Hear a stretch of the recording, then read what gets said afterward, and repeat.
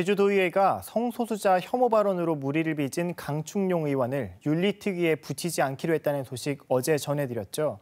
알고 보니 제주도의회가 윤리특위를 출범한 이후 징계 안 건으로 특위를 연 건 단 한 차례도 없었습니다. 허지영 기자가 취재했습니다. 민감한 안건의 의원별 투표 결과를 공개했다며 SNS상에서 동료 의원을 욕한 양영식 의원.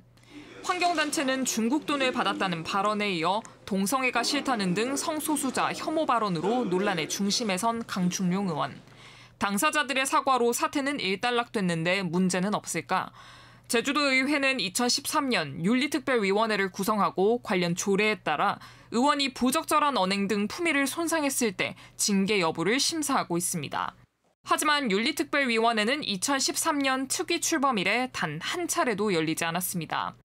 도의원들이 재량껏 특위 개최 여부를 결정하기 때문인데 전문가들은 사태 발생 시 재발 방지 대책이 함께 나와야 한다며 윤리특위가 제 역할을 하지 못하고 있다고 지적합니다.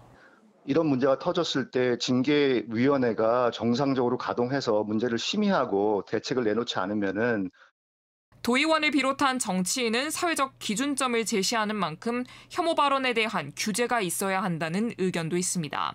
좀 선제적인 조치를 취하지 않으면 안 되는 그런 발언들이기 때문에 어, 어떤 선거로 심판하자 아니면 표현의 자유에 맡기자라는 것보다는 일정한 어떤 제재나 어떤 규제가 필요하다라고. 제주도의회 의원은 윤리강령을 준수해야 하고 의정 지표로 삼아야 한다는 조례의 의미가 무색해지고 있습니다. KBS 뉴스 허지영입니다.